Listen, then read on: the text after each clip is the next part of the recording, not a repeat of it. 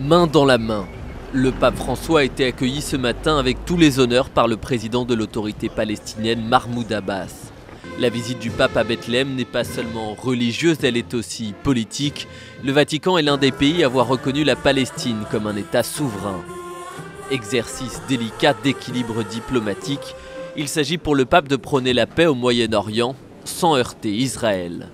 Le moment est arrivé pour tous d'avoir le courage de la générosité et de la créativité au service du bien.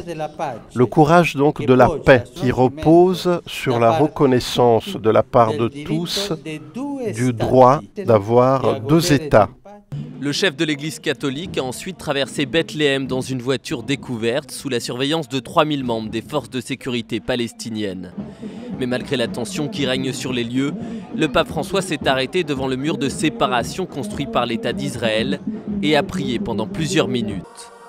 Autre moment fort, place de la Mangeoire devant la basilique de la Nativité, un lieu sacré pour les catholiques. Le pape François a célébré une messe devant 10 000 fidèles.